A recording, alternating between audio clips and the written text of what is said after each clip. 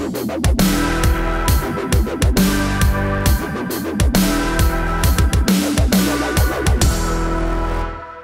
wish I knew how to quit you.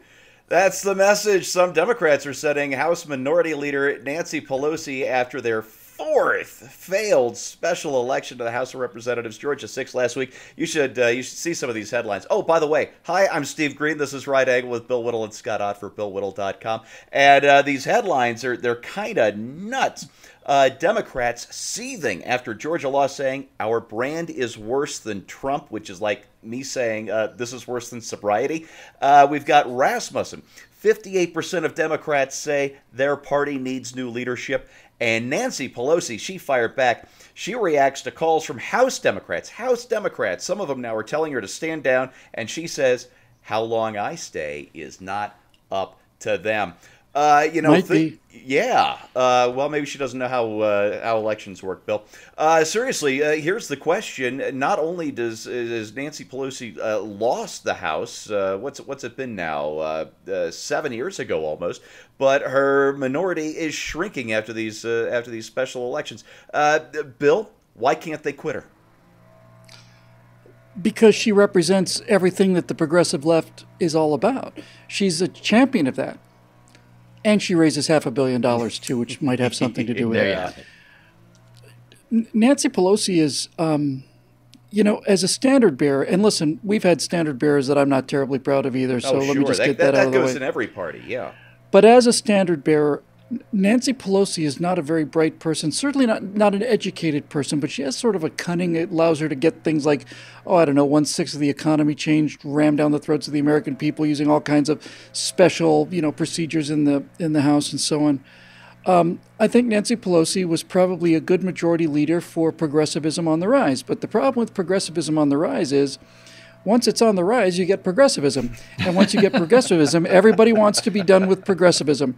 And then, uh, and so the person who, who is on the rise is not the person to take you down through the fall because, you know, the one thing we learn about politics is it's, it's cyclic, right? I mean, or cyclic, I guess, which is one of those things.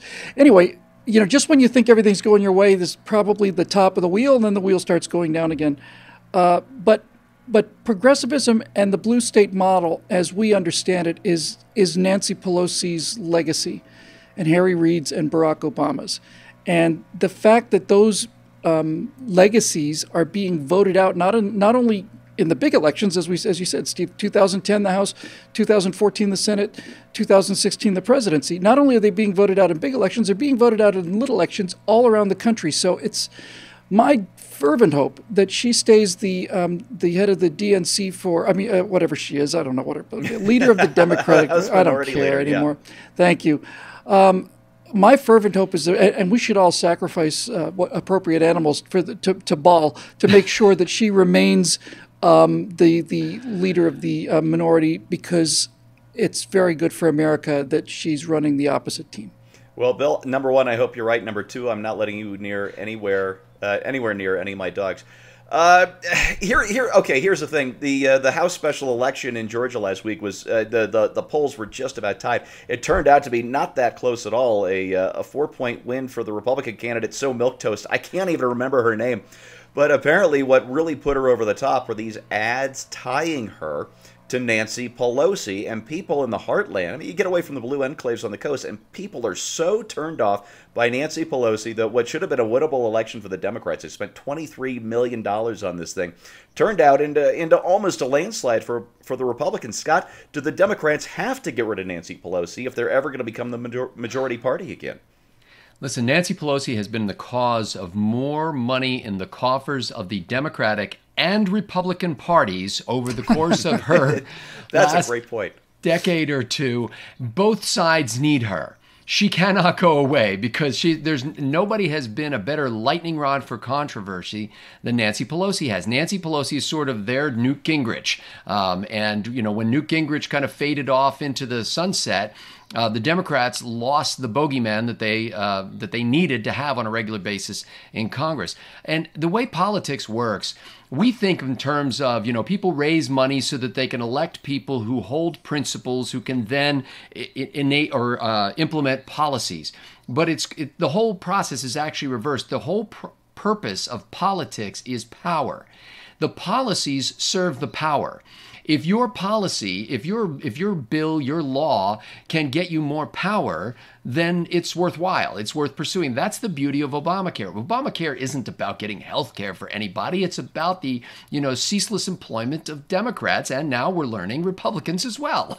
Yeah. because you see, once they got it, some Republicans are like, "Oh no, this really plays well. Some of this some of the provisions of Obamacare play well in my district. I would hate to ever vote against it." So I think we get deluded by the spin masters in both parties when we think somehow uh, that these people, you know, that Nancy Pelosi rose to power because of, she's a lion of progressivism. She's just a, as Bill pointed out, she's a fundraising machine and she has a lock on power. Everybody in that caucus owes her something. Boy, that's the truth. Yeah, Scott, let me give you a follow up. And Bill, maybe you'll want to jump in on this too. You know, time was that if a, a speaker uh, led their led the Congress so badly that they lost their majority, they would step down as uh, as the uh, as the House leader of, of their party. Why didn't Nancy Pelosi do that uh, after 2010, and why won't she do it after all of these losses? That presupposes require, shame. Requires a sense of decency. Yes, there, there you go. Yeah, there you go. Exactly. I was wondering, it was a, it was a it was a race to see who could get it in first. Yeah, you have to have a soul to do something like that. Yeah. yeah, some sense of some sense of something bigger than your own personal power. All right. So I guess it's not just the case of the times have changed. I'm sorry, Scott. I stepped on you there.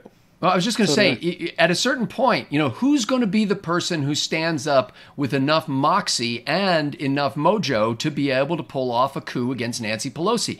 You can stand up if you're some minor figure and say, I think it's time something changes, and they'll go, oh, you know, nice little boy, run along now. But nobody's got the guts to really raise a resistance movement because they know that you don't kick the hornet's nest unless you plan to set it on fire, and they don't have the power to do that yet.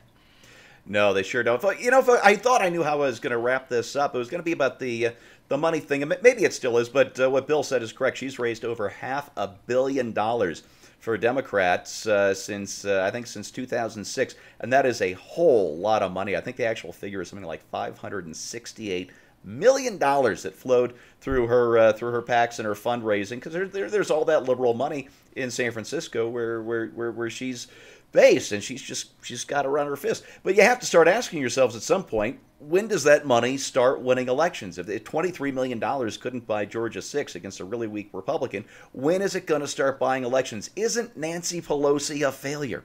But then I started thinking, well, what kind of shape would the Democrats be in if Nancy Pelosi hadn't raised $568 million over the last 10 years? So, Democrats, I got some real bad news for you. Nancy Pelosi, might just be as good as it gets. And that is your right angle on that. I'm Steve Green. Thanks for watching. It's made possible by the paying members of BillWhittle.com. If you like what you see, click on over. Consider being a member yourself. We'd sure like to have you on board. And we'll see you next time.